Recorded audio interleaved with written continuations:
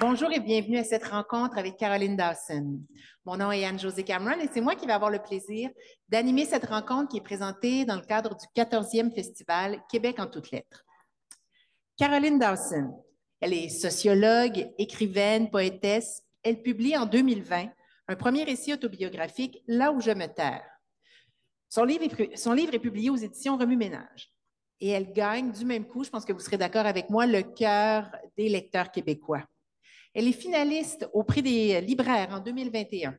En 2022, elle remporte le prix littéraire des collégiens. Alors qu'un roman reste généralement quelques semaines en tête de palmarès, quelques mois s'il a de la chance, Caroline Dawson, en fait, son livre Là où je me terre, est en tête, fait partie des euh, livres les plus vendus, et ce, depuis près de trois ans, ce qui est tout à fait exceptionnel. Elle a vendu, en fait, elle, plus de 30 000 exemplaires ont trouvé preneur au Québec. C'est vraiment quelque chose d'assez incroyable. En 2023, elle publie un recueil de poésie, Ce qui est tu, aux éditions Triptyque. Nous allons la retrouver aujourd'hui. Ah, la voilà, elle est arrivée. Je me tourne vers elle. Nous allons la retrouver chez elle aujourd'hui. Elle participera également, parce que vous voyez que je suis accompagnée euh, aujourd'hui, donc participera également à cette rencontre Michel Nadeau, comédien, metteur en scène, auteur dramatique. C'est à lui qu'on doit, entre autres, Jeanne et les Anges et Lentement la beauté, qui a remporté le prix du masque de la meilleure production en 2004. Il a été directeur du théâtre, directeur artistique du théâtre du Nouveau Parking pendant près de 30 ans. Il est également le directeur artistique et le co-directeur général du théâtre de la Bordée depuis 2016. Il signe l'adaptation de la pièce Là où je me terre qui sera présentée à la Bordée à compter du 31 octobre prochain. Alors, bonjour à vous deux. Bonjour. Bonjour, bonjour Caroline. Comment allez-vous? Je vais plutôt euh, bien. Désolée de ne pas avoir euh, pu être là, de vous faire faux bon comme ça. Euh, je sais qu'il y a des gens parfois qui clairent leur horaire pour s'assurer de voir la personne et que, bon, quand elle ne se pointe pas, c'est un peu décevant. Donc, je tiens à m'excuser malgré que ce soit des circonstances hors de mon contrôle. On est très heureux de vous retrouver aujourd'hui, de retrouver votre sourire et de pouvoir parler de vos livres. Si vous le permettez, commençons à parler de Là où je me terre, qui est paru en 2020. Donc, dans votre premier roman autobiographique, vous racontez votre départ du Chili sous la dictature de Pinochet, votre immigration au Québec alors, avec votre famille alors que vous avez sept ans. Qu'est-ce qui a déclenché l'écriture de ce roman? J'ai tellement de difficultés avec cette question parce que je pense qu'il n'y a pas une, raison, il y a plein de raisons qui... Euh, et je pourrais vous en donner une qui me donne l'air intelligente, puis, mais ce ne serait pas toute la vérité. Donc, euh, euh, dans les circonstances très concrètes, j'étais enceinte et quand ma fille est née, je me suis dit, je ne sais pas pourquoi j'ai eu cette espèce d'impulsion-là, peut-être parce que c'était une fille, parce que c'était mon deuxième enfant, de me dire, les histoires chez moi, en, souvent chez les familles latino-américaines, il y a des bouts cachés tout le temps. Si, vous avez lu de la littérature latino-américaine, vous le savez que des vieux fantômes euh, ou les telenovelas ou haha, ton père n'est pas ton père, c'est euh, finalement ton cousin. Donc, ce genre de choses-là qui sont cachées. Et il y en a tellement plein dans ma famille. Et je me suis rendu compte quand mon, mon conjoint lisait des. Euh, ou racontait à mon fils qu'elle était euh, ses ancêtres, je me disais, moi, je lègue rien de tout ça à mes enfants. On dirait que mon histoire, elle est cachée. Donc, j'ai voulu léguer cette histoire-là à ma fille pour couper le fil, comme, euh, comme le dit si joliment Wajimouawan. Euh, il fallait couper ce fil-là, je trouvais, de d'une tradition de femmes qui ne racontent pas toute l'histoire. Et donc, même si eux, mes enfants, eux et elle, lui et elle, sont des gens qui ont une vie complètement différente de celle que j'avais à leur âge, je tenais à leur dire qui était leur mère. Et donc, ça, c'est la raison, je dirais, plus personnelle. Mais il y a aussi le fait que je, me considère comme une, une, euh, une lectrice euh, affamée ou en tout cas très curieuse. Et la littérature québécoise, c'est quelque chose qui m'accompagne vraiment. m'accompagne dans le sens de c'est mes compagnons de route, les auteurs. Et je trouvais très peu d'histoires qu'on appelle d'histoires d'immigration avec laquelle je pouvais me reconnaître parce que c'était toujours, c'était souvent, plutôt que toujours, des histoires où c'était des grandes épopées qu'on raconte, avec, euh, j'entendais les tambours et les trompettes, là, des fois quand on lit, donc on prend le bateau, et, et moi, c'était pas ça, sans rien enlever à leurs histoires, moi, c'était pas ça, j'étais un enfant, j'embarquais dans un avion, huit heures plus tard, ma vie a changé. Et, et donc, j'avais pas le, trajet, le voyage, le pourquoi, tout ça m'échappait. Ce que j'avais, par contre, c'était tout ce qui a suivi. Et c'est là que je trouvais que la plupart des histoires s'arrêtaient, tandis que c'est là, dans ma tête, que ça devient le plus intéressant. Et donc, voilà les deux raisons, les deux impulsions, je dirais, simultanées qui ont fait en sorte que j'ai pris papier crayon et j'ai commencé à écrire. Quand, vous pensez à ces, ces années d'enfance au Québec, qu'est-ce qui vous vient tout de suite en tête? le froid. Le froid, euh, euh, mais le froid, c'est que c'est hum, la solitude, ça va avec un peu. Mm. j'ai toujours trouvé que le froid était un peu paniquant. Euh, vous savez, quand on a chaud, on est comme plus évaché ou avec moins d'énergie. Le froid nous garde comme dans un état de, de surprise, voire peur ou crainte. Et donc, c'est ça que je ressens quand je me souviens de ces premières années. Vous avez euh, choisi de commencer votre roman parce que bien que ce soit autobiographique, il y a des choix d'écrivaine aussi. Vous avez choisi de commencer ce roman avec euh, une petite narratrice de 7 ans. Qu'est-ce que vous permettait ce choix?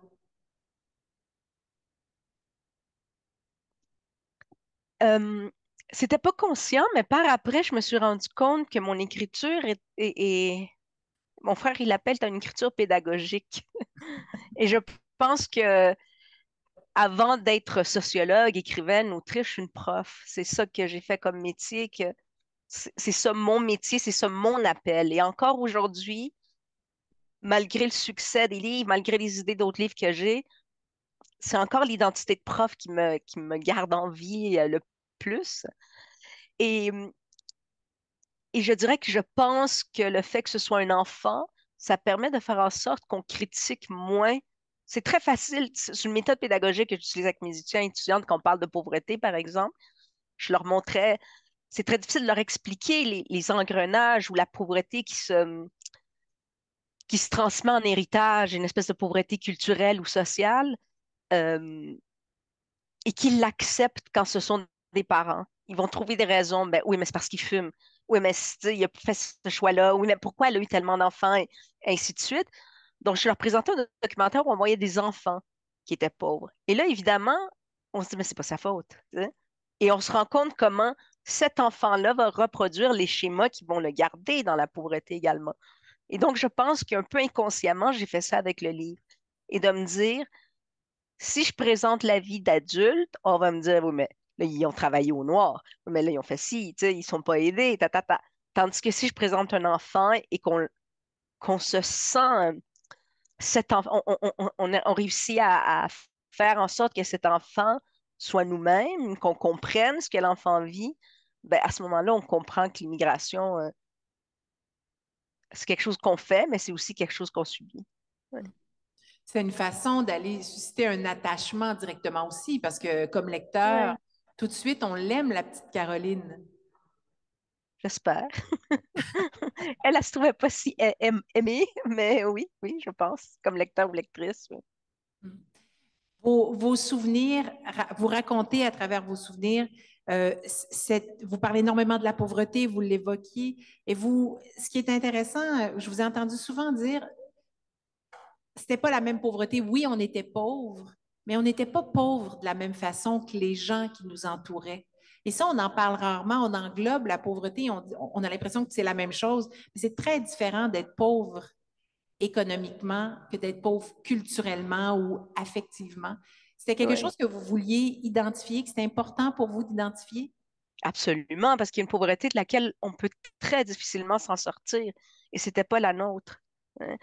Euh, la pauvreté de l'immigration est une pauvreté souvent momentanée, ou si elle dure durant des années, c'est pour toutes sortes de raisons, mais il y a toujours cette volonté très forte euh, des parents, généralement, que leurs enfants fassent d'autres choses.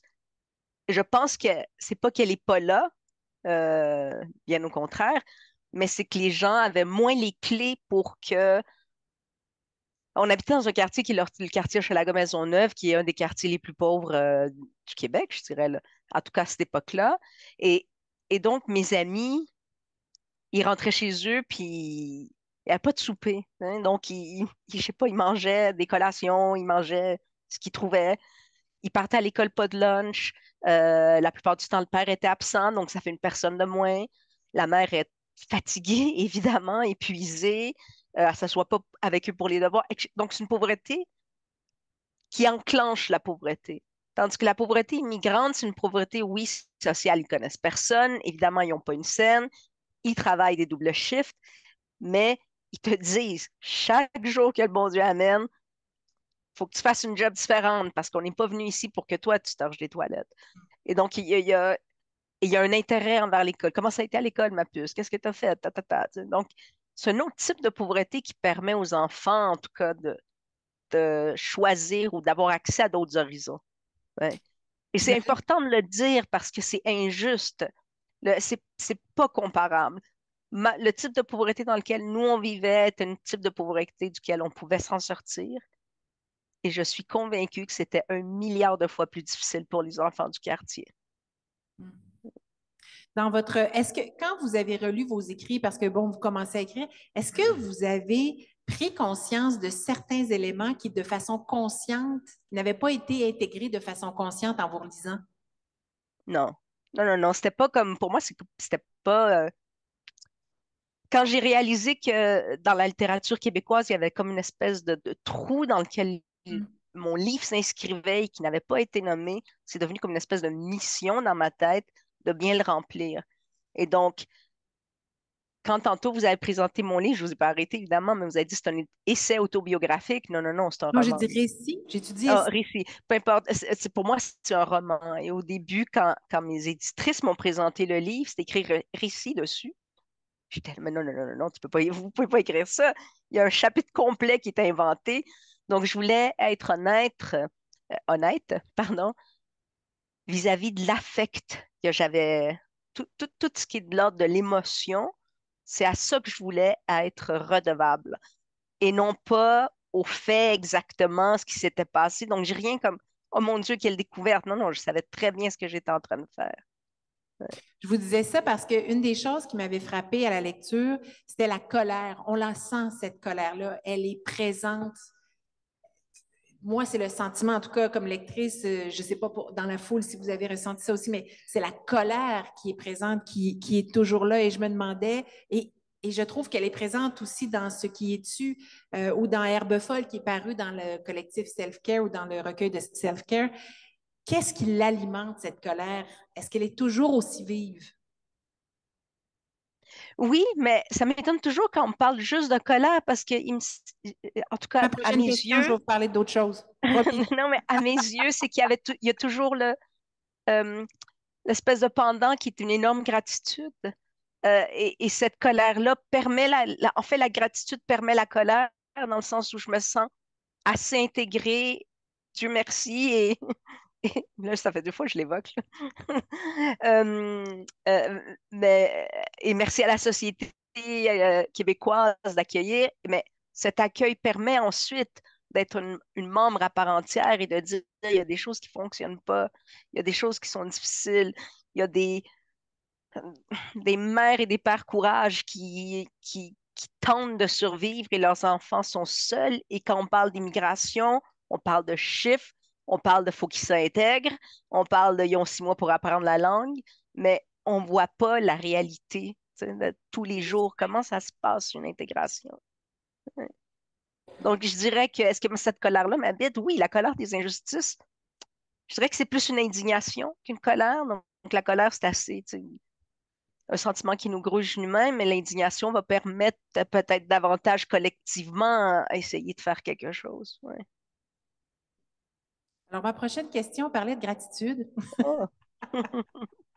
Je disais colère et gratitude, mais aussi gratitude parce que, parce que vos parents vous ont donné des choix ou accès à plus de choix en faisant ce geste-là.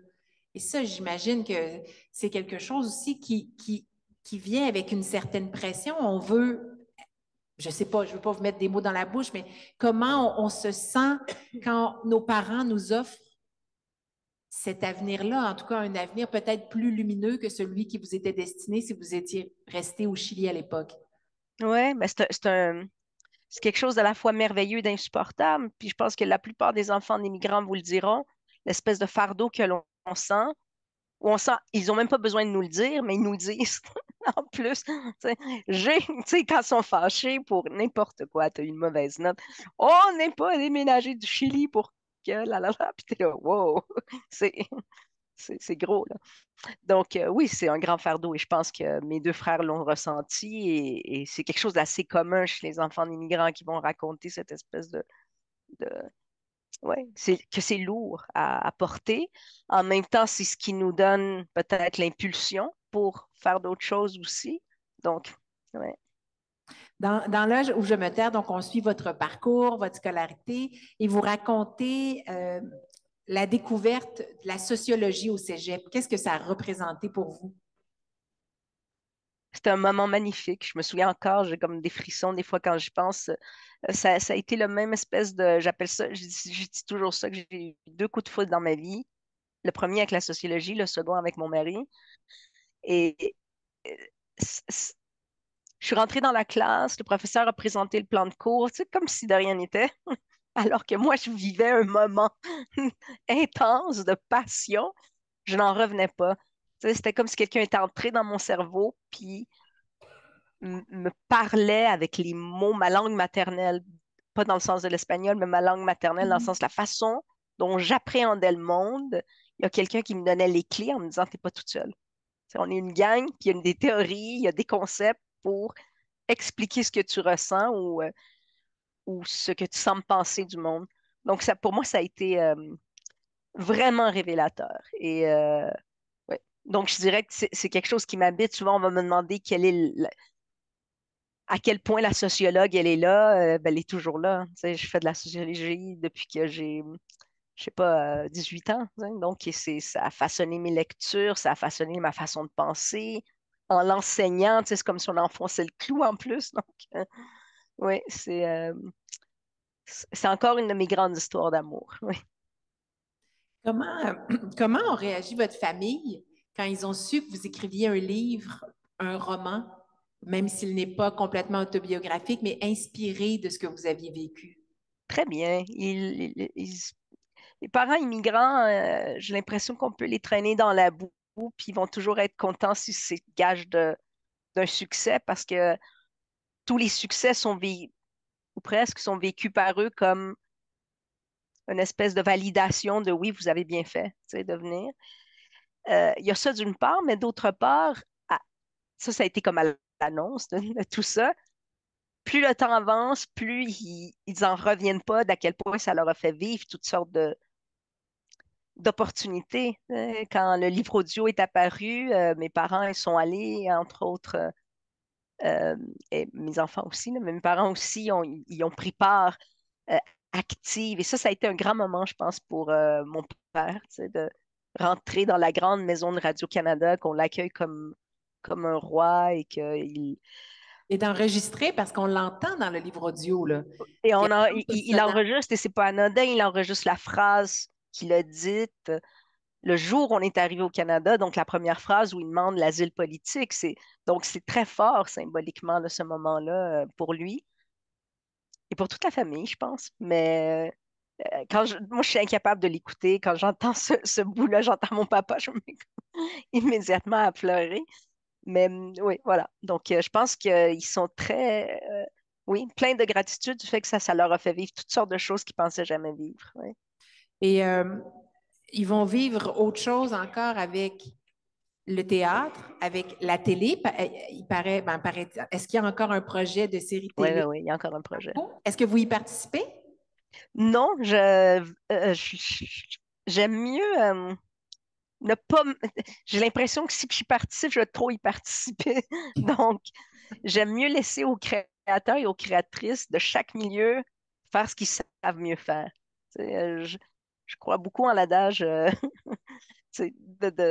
on dit en anglais, don't quit your day job. Donc, c'est pas mon travail, ça, je sais pas comment faire. je pense que je vais être l'espèce de belle-mère continuelle si je m'implique. Donc, j'aime beaucoup mieux ouais, laisser aux créateurs et aux créatrices toute la place. Et je leur ai vraiment dit, vous pouvez faire ce que vous voulez avec. Je ne vais pas être offusquée de que vous changiez quoi que ce soit. C'est votre histoire maintenant. Et, vous pourrez, euh, avec votre famille aussi, ils vont pouvoir se voir aussi sur scène au théâtre de l'Abordé, parce que là où Je m'atterre va y être présenté à compter du 31 octobre. Et là, je me tourne vers Michel Nadeau. Euh, donc, Michel Nadeau qui signe l'adaptation de la pièce et euh, pièce qui est réalisée par Guillaume Pepin.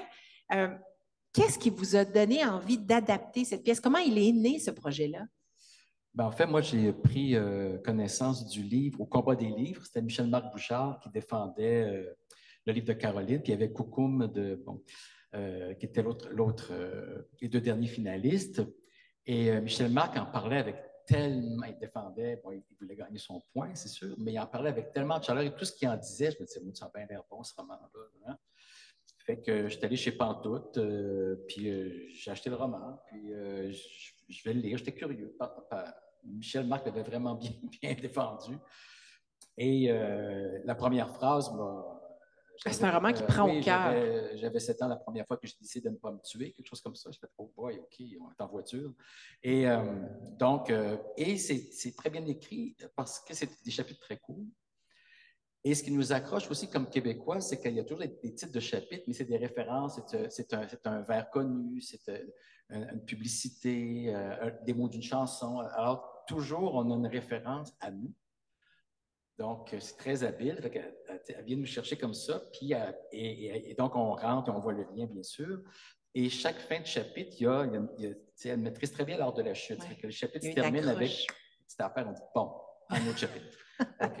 Et ce qui fait que je, je, l'ai dévoré très rapidement. Et, euh, et été très séduit par ça. Et, j'aimais aussi l'histoire que ça racontait c'était aussi, euh, j'ai pas lu des centaines de romans sur l'immigration, mais je trouvais que ça, justement, ça mettait le doigt sur quelque chose qu'on entendait moins. Et euh, c'est ça qui m'a séduit là-dedans. Donc, je l'ai relu une deuxième fois. Je l'ai relu une deuxième fois, puis je dis, ben, je pense que, je pense que ça peut s'adapter, puis ça ferait. On, voit le film aussi, on voit la, on voit la télévision, mais je, je pense qu'au théâtre, ça se pourrait. Je prends une chance, j'appelle aux éditions, ils me mettent en contact avec Caroline, je dis, bon, tata j'aimerais bien. Euh, puis j'ai dit, je suis sûr qu'il y a un théâtre à Montréal qui, qui, y a pensé. Et non. Fait que Caroline était extrêmement euh, gentille et généreuse. Elle m'a dit, ben oui, euh, allez-y, ça me fait plaisir. Et puis, ben voilà, après ça, ben, c'était le, travail d'adaptation à la scène. Puis, est-ce que l'adaptation posé des défis? C'est-à-dire que oui, dans une certaine mesure, il y, avait l'idée, par exemple, parce que comme c'est toujours Caroline adulte qui nous parle, donc, euh, la narration, qu'est-ce qu'on fait avec la narration? C'est sûr que s'il y a une série télé, il y aura, j'imagine, très peu de narration. S'il y en a, ça va dialoguer, bon, etc. Mais je voulais qu'au théâtre aussi, on sente son écriture, on sente son style. Euh, donc, il y a une certaine part de narration, jusqu'où on est capable d'en prendre comme spectateur aussi, et faire des choix, c'est-à-dire que l'évolution, il y a beaucoup de scènes dans, l'enfance, puis à un moment donné, l'adolescence, le cégep, l'université, a très peu, donc la vie adulte. Donc, c'était de trouver une chronologie qui soit intéressante pour le spectateur. Euh, il y a certains chapitres que j'aimais beaucoup, comme Le frère André, par exemple, euh, ou euh, La piscine, des trucs comme ça, ou que, que j'ai laissé tomber en me disant, ça, et comme je suis metteur en scène aussi, me disais, bon, si je faisais la mise en scène, je pense que ça, serait compliqué, il y aurait trop de narration, donc il faut favoriser l'action au théâtre. Fait que qu'est-ce qui. Puis, puis, on pense un peu à la scénographie. Ça fait que je, gardais ce qui m'apparaissait important pour le, le, parcours, le parcours intérieur de, Caroline, puis l'histoire aussi qui avance, etc. Puis, puis ce qui était ce que j'imaginais qui était réalisable. Et après ça, j'ai fait un premier rough. J'ai peut-être coupé la moitié, gardé la moitié, en gros. Là. Puis après, j'ai présenté au metteur en scène. Puis il y a un autre. Et c'est vous qui avez offert ce projet-là au, metteur, au metteur en scène, Guillaume Pepin. Pourquoi vous l'aviez choisi lui? Qu'est-ce qui vous faisait penser que sa sensibilité irait. Euh, ben, il y avait deux choses. C'est-à-dire qu'à l'aborder, j'aime aussi euh, euh, donner l'occasion à des jeunes metteurs en scène d'avoir accès à un grand plateau. C'est pas grand comme le Trident, mais quand même, ça, on considère ça comme un grand plateau.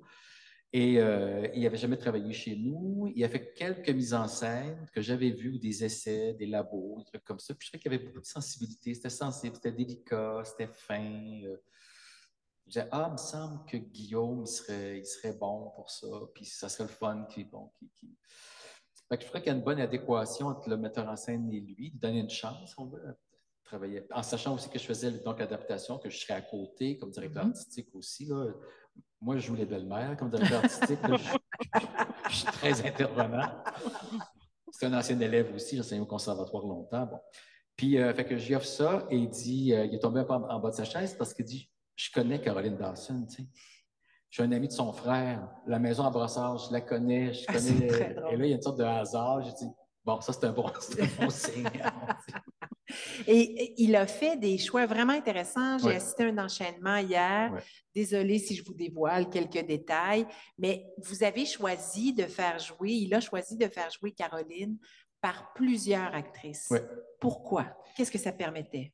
Ben, c'est-à-dire que assez rapidement, quand il l'a lu, j'aimerais ça que. Euh, parce qu'évidemment, il y a Caroline Dawson, mais il y a une multitude de personnages, à, à, à travers à peu près une dizaine de classes différentes, d'écoles différentes. Mm-hmm. Donc, comment, comment c'est quoi le principe théâtral qu'on va prendre pour ça? Euh, combien de gars, combien de filles? Bon, toutes ces questions très concrètes-là. Parce que le théâtre, c'est aussi éminemment concret. Puis, ben, j'aimerais ça que ce soit. En fait, on a six filles et un gars. Et euh, que ce soit toutes des personnes issues de l'immigration. Donc, euh, parce qu'ils ont tous des parcours différents, mais ce sont tous des immigrants qui ont, et donc, eux racontent l'histoire de Caroline. Ça va envoyer aussi un message, ça va avoir un, impact aussi beaucoup plus fort que s'il y avait euh, une actrice latino-américaine, euh, une mère, un père, puis le reste, toutes des Blancs, des, Québécois, Canadiens, Français. Je trouvais que c'était une très belle idée. Je dis, oh, parfait, j'embarque, j'embarque là-dedans. Et après ça, il dit, ça serait le fun aussi. A des, ça serait le fun aussi que chaque comédienne devienne Caroline à un moment donné. Donc, on a une comédienne qui est euh, Cathy Alexandra Retamal, euh, je me souviens un peu de son deuxième nom, peu importe. Et donc, elle fait, qui est chilienne d'origine, et qui, euh, qui, elle, fait Caroline là, du début.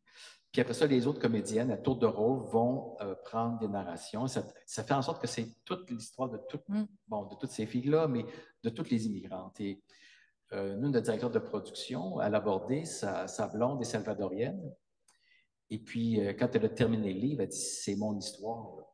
C'est mon histoire, c'est ce que j'ai pensé. Fait que l'idée, je trouvais que l'idée à, Guillaume était très juste de faire ça. Et concrètement, ça fait beaucoup moins de texte à apprendre pour la comédienne qui fait toutes les narrations. on, se partage Mais c'est ça. Donc, c'est les deux grandes idées de mise en scène de, de Guillaume par rapport au, texte. Parlez-nous du cœur, parce qu'il y a aussi un cœur, ce qu'on ne retrouve pas dans le, dans le roman. Oui, c'est-à-dire que souvent, il y a des. Bon, il y a, il y a elle raconte, des, elle raconte des, moments de sa vie, beaucoup de réflexions, et à certains moments, ce que Guillaume a, décidé aussi, c'est que toutes les actrices diraient en même temps, ou des fois, il y, a des, il y a des grands paragraphes qu'on dit il faut, il faut dire tout ça. Et des demi-pages, on dit ça, on ne peut pas couper. Et peut-être que si c'est une personne qui le dit, il y, a, aussi une affaire de. Sais, au, théâtre, il faut toujours susciter l'intérêt du spectateur. Il y a quelque chose qui, relève de ça. C'est les, dieux du théâtre nous exigent ça de nous.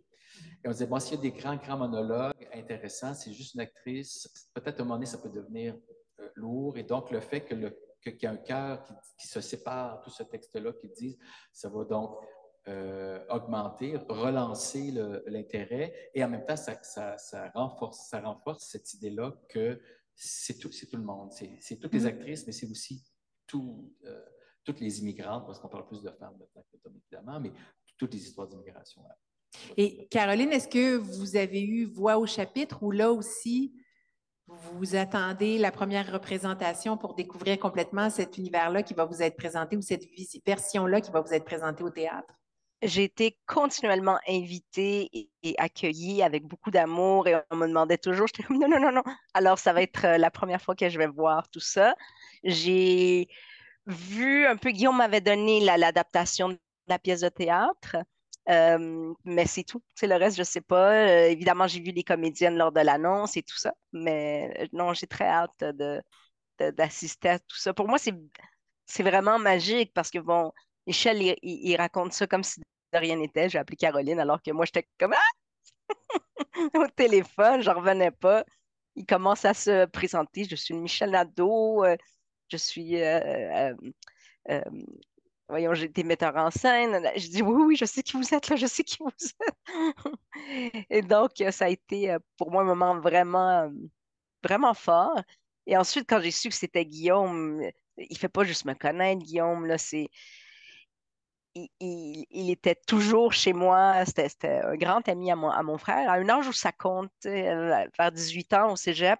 Donc, c'était le moment où où Guillaume euh, faisait son coming out en même temps qu'il se séparait de, la famille. Euh, il y avait des problèmes, bon, une famille un peu euh, particulière.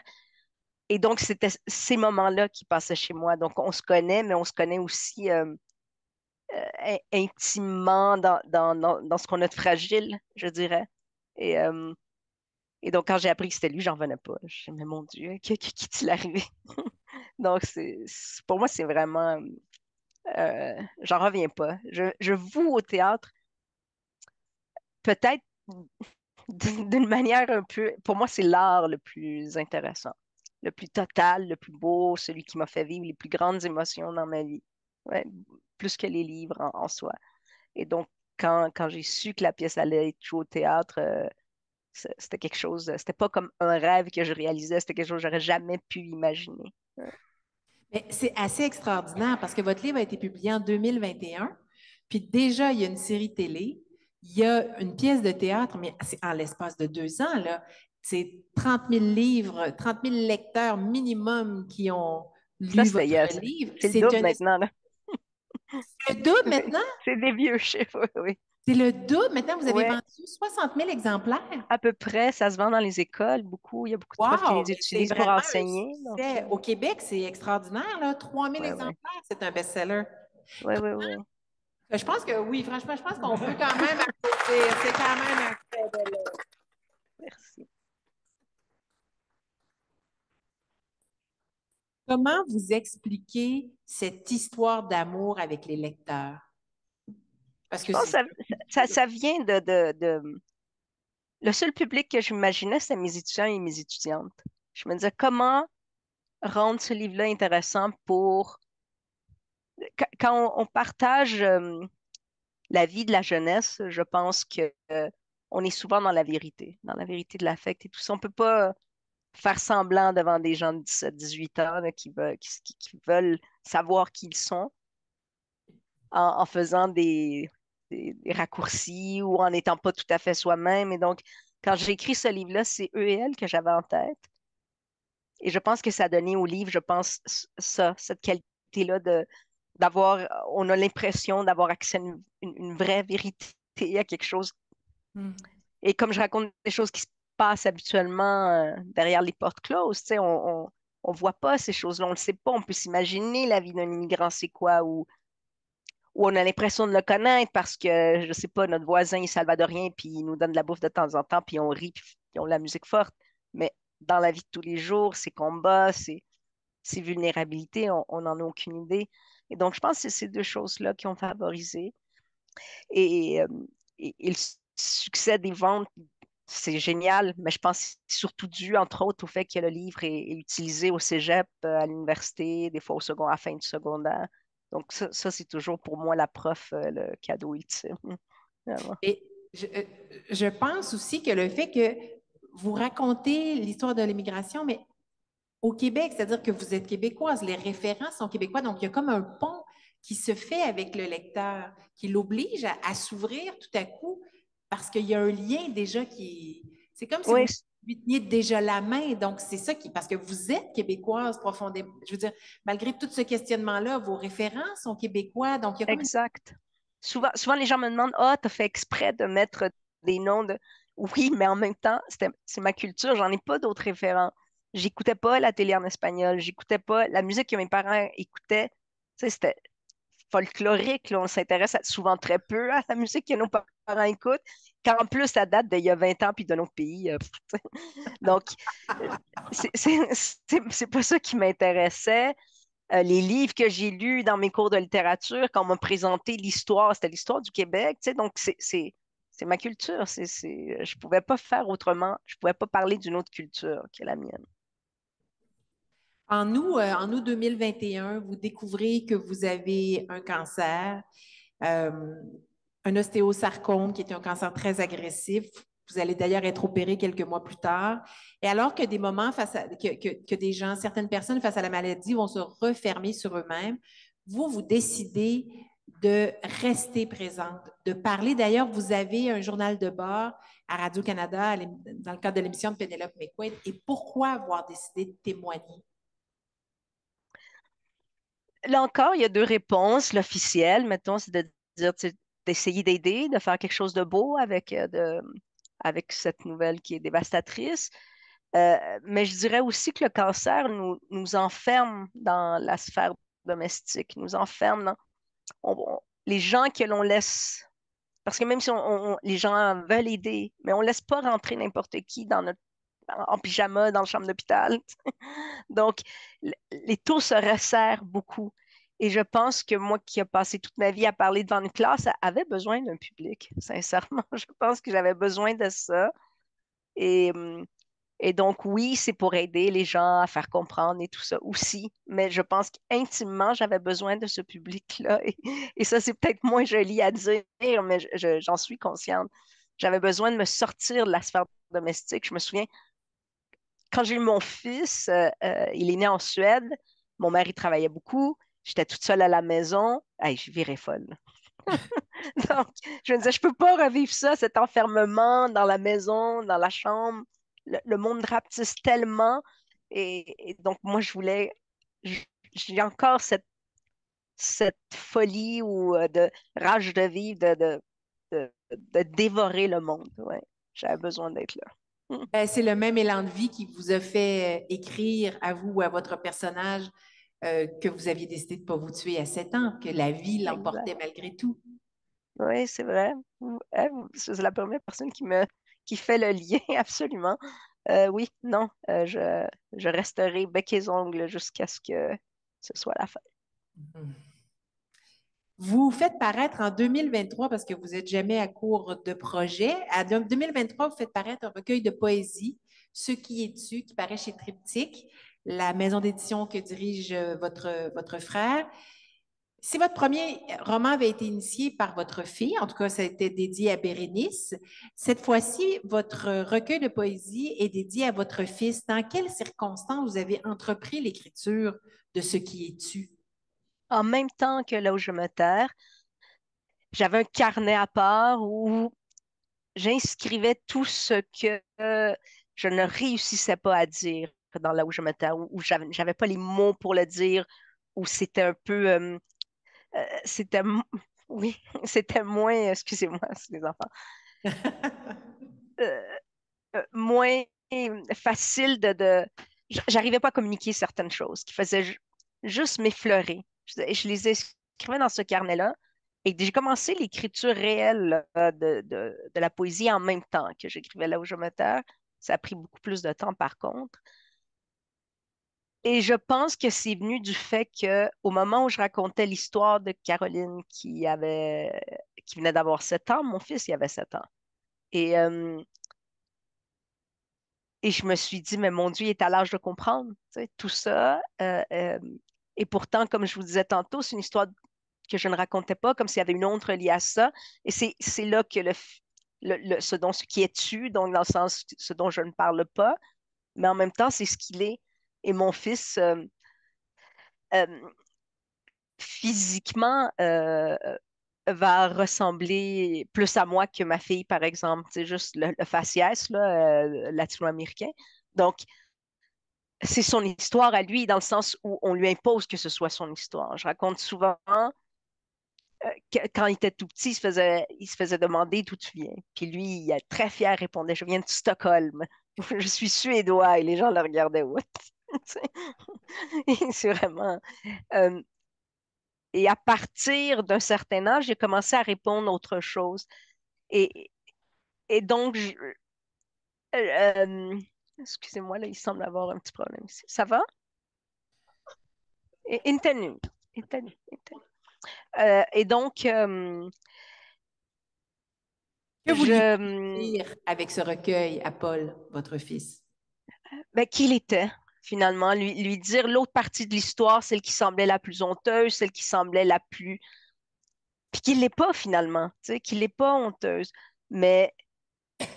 Et j'ai compris qu'il a compris ça le jour où il a répondu à quelqu'un euh, constamment.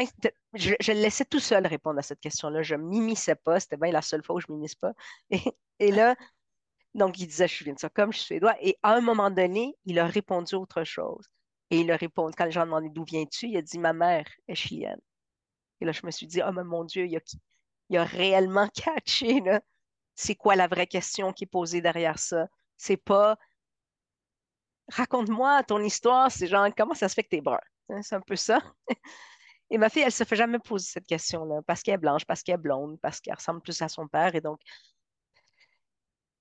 donc, c'est son histoire aussi à lui. C'est, voilà, tu sais, quand on te pose trop de questions, voilà d'où tu viens. Tu sais, voilà ce qui est derrière. Voilà qui, tu es si tu veux. Si tu veux que ce soit toi aussi. Pourquoi est-ce que, vous avez dit que c'est l'histoire honteuse qui ne l'est pas. Pourquoi ce sentiment de honte reste là? Comment vous l'expliquez?